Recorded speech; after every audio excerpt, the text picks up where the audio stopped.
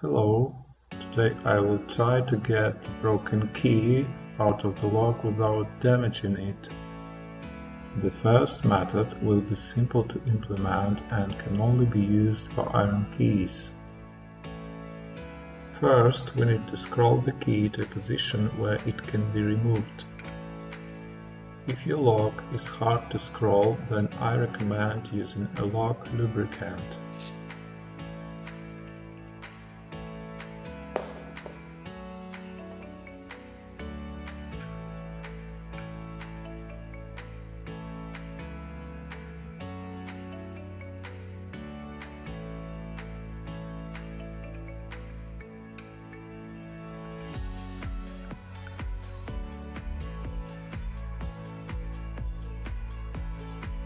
In this position, you can feel that the key moves a little.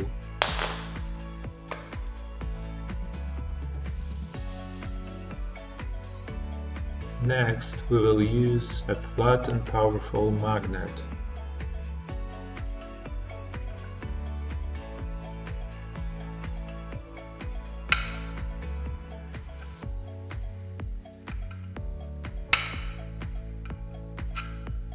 And that's it, we got the key. If the first method doesn't give any results, then let's try a more complex one. I'm going to solder a paperclip to our broken key.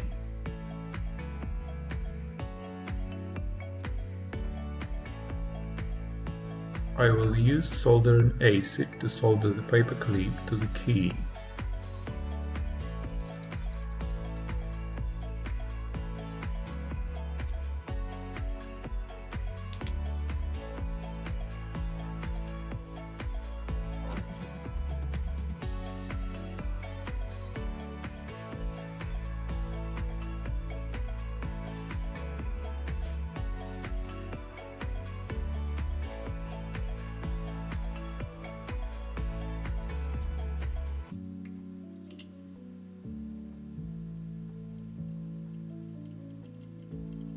I must say that this procedure is quite complex and requires patience to succeed.